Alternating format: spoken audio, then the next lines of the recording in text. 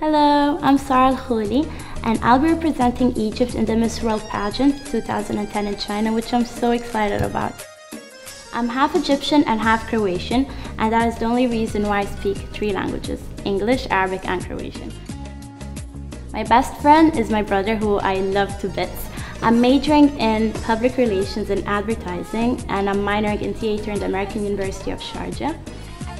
I love my pets and I love everything that's girly, colorful, and happy. I'm very optimistic and I love music and food, traveling, and fashion. I can't wait to get to China, meet all the other contestants, get to know the girls, have loads of fun, and learn more about China. I'm looking forward to seeing you all. Take care, much love.